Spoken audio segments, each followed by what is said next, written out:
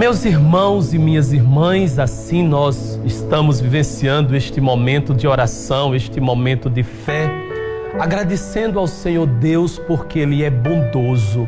Eu tenho certeza de que este programa de hoje, onde nós rezamos, continuamos a nossa devoção à Virgem Santíssima, muitas graças, você está sendo alcançado neste momento, você vai alcançar.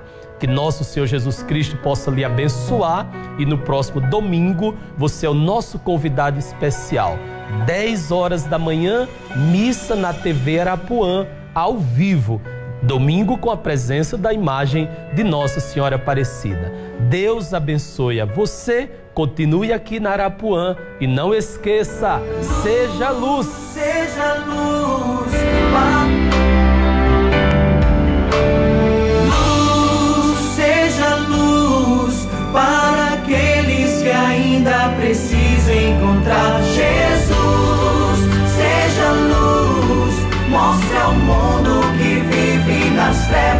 Existe uma luz.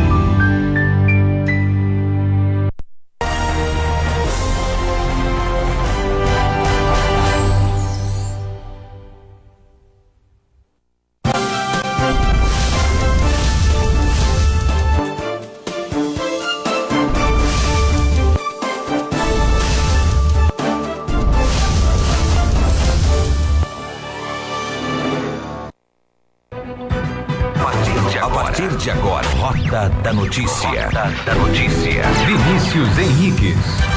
5 horas 54 minutos. Muito boa tarde. Hoje é. Hoje é sexta-feira.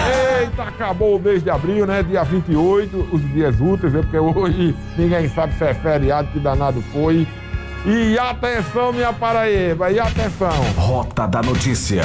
E as manchetes do dia. Detentas ferram grades na tentativa de fugir do presídio feminino. Foram oito reeducandas. E mais, dupla é detida suspeita de assaltar lotérica em Cabedelo. Essa matéria nós anunciamos ontem e vamos exibir completa daqui a pouco. E mais, perseguição policial termina com dupla presa e acusado de praticar assaltos na capital. Olha, um foi alvejado. Carro despenca do terceiro andar do Manaíra Shopping, motorista morre. Que tragédia foi agora há pouco. Olha só, que fato lamentável. Manifestantes obrigam lojas a fecharem as portas aqui em João Pessoa. Olha só, foi tumulto. E paralisação deixa João Pessoa sem ônibus, trens e com principais avenidas fechadas. Você vai ver todo o resumo, porque a partir de agora, o Rota está no ar. Rota da Notícia. Rota da Notícia.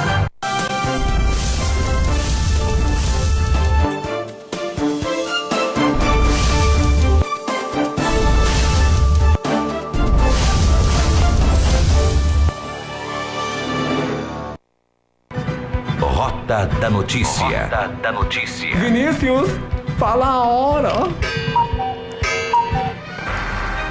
5 horas 56 minutos. Olha só, os lojistas do centro de João Pessoa que não aderiram à greve geral desta sexta-feira enfrentaram protestos.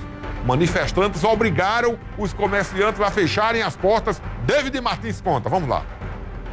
Uma sexta-feira atípica. Em um dia normal seria impossível passar por aqui sem precisar olhar para os lados. Essa é uma via de grande movimento aqui na Lagoa. O comércio ficou todo fechado. O movimento proibiu que os empresários abrissem as lojas na manhã de hoje aqui no centro de João Pessoa.